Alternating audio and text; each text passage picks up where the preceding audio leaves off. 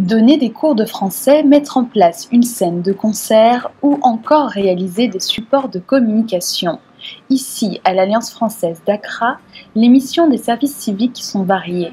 Nathan est arrivé en octobre 2015 pour un an après avoir obtenu un bac professionnel option production graphique. J'ai commencé à chercher un service civique à l'étranger euh, juste après le lycée. Comme je savais pas trop ce que je voulais faire, je me suis dit qu'il fallait que je laisse un an à réfléchir, mais je voulais pas rester un an à rien faire. Donc du coup, je me suis dit que de partir à l'étranger, que ça pourrait être bien. Et j'avais entendu parler du service civique qui était pour les jeunes, qui justement dans mon cas.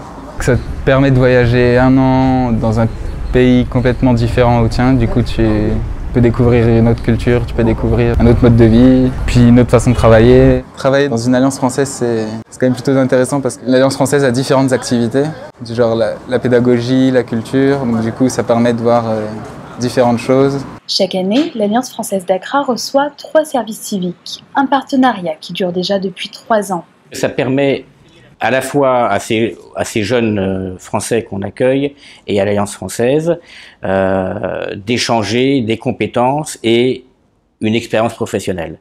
Euh, ces jeunes, à la différence des, volontaires internationaux, euh, ont en général moins d'expérience. C'est une vraie première expérience. Nathan, par exemple, euh, avant d'arriver ici, était un jeune bachelier. Je pense que pour lui, ça a été une bonne expérience professionnelle et, humaine surtout. Et pour l'Alliance française, il a apporté des compétences qui n'existent qui pas dans ce pays. Donc nous avons recruté une personne qui, pour le, pour le, pour le, pour le succéder, avec, avec la, ferme, euh, la, ferme idée de, de, former le personnel local, parce que ce n'est pas euh, le, plan n'est pas de, de remplacer éternellement et pour toujours du personnel local, mais c'est de les former. Selon leur profil et leurs envies, les volontaires sont répartis sur toute l'Alliance et travaillent en étroite collaboration avec l'équipe locale. Pour Joséphine, qui travaille avec Sylvain au bureau culturel, intégrer un service civique à son équipe est très positif. He's in charge of organizing technical meetings because we do a lot of concerts um, in a month. So he gets in touch with the artists and then we have meetings to discuss how we, um, we can make the show uh, be perfect. And for him, I like the way he works because he's always going the extra mile to make the shows better. He's always he's always full of ideas and suggestions and things we can do to make the show better. So it's it's really good. Un jeune Français en service civique apporte ses compétences et son dynamisme à son organisme d'accueil et en retour, celui-ci lui permet d'acquérir une expérience professionnelle qui pourrait être valorisée par la suite. Un an à l'étranger, surtout un étranger anglophone, au niveau de la technique, c'est toujours un plus. Ça, montre une euh, ouverture. Une ouverture. Et le fait que c'est possible d'être. Euh, de s'adapter ailleurs sur une longue période. Parce qu'un an, bon, ça passe rapidement, mais c'est quand même un an. Cette expérience, elle, elle, est, elle est assez importante dans le sens où je vais pouvoir la mettre à profit par la suite en allant dans, dans des structures qui n'ont pas forcément le, matériel disponible et où justement il faut, il faut apprendre à se débrouiller et, et apprendre à se débrouiller c'est très important. Une belle expérience professionnelle mais aussi humaine car être volontaire en service civique c'est donner mais c'est aussi recevoir.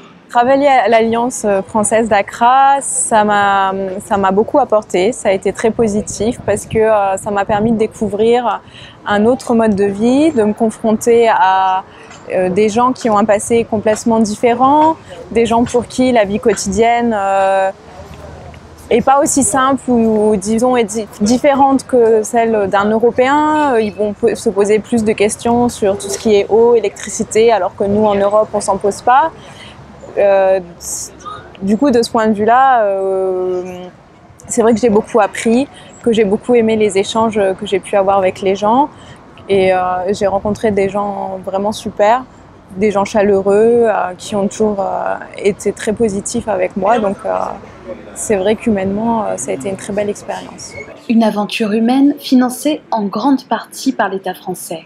L'Alliance française, quant à elle, doit prendre en charge certains frais comme le logement. Je pense que c'est quelque chose qu'il faut vraiment faire tout en poursuivant l'accueil de stagiaires FLE ou de VI.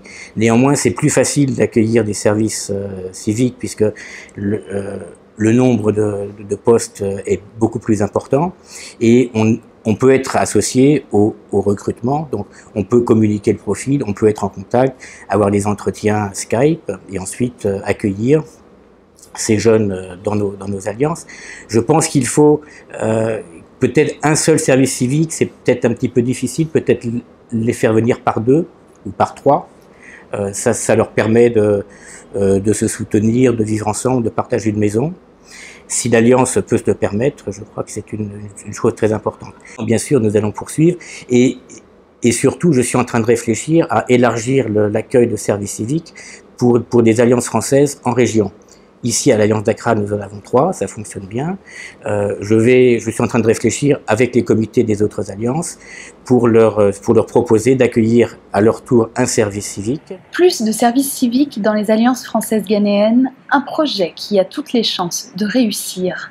Car si, comme Pauline, Nathan et Sylvain, 120 000 jeunes se sont déjà engagés, la France prévoit d'atteindre les 350 000 contrats d'ici 2018.